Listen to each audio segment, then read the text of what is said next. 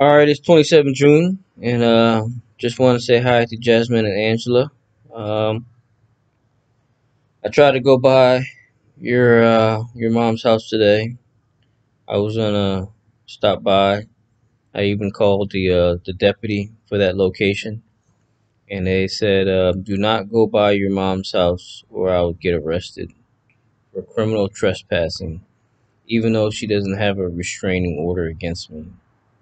Um, so uh, that is why I haven't been able to see y'all. Um, the same thing for when I went to your grandma's house. Um, I got there on a Saturday night, pulled up to the driveway. I said hi to your uh, to your aunt. We had a good conversation.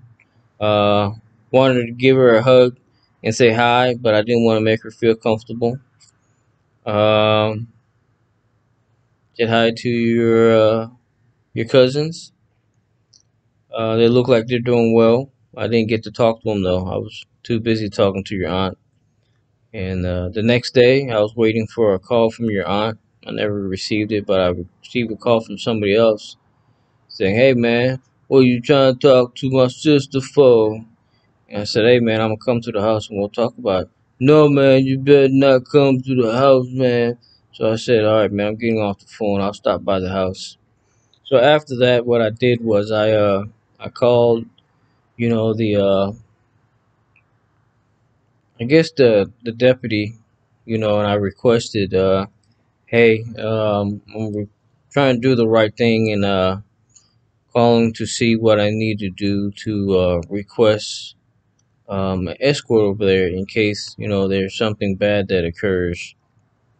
So they said, all right, uh, you're doing the right thing. This is what you do. You call the deputy and they'll get there before you.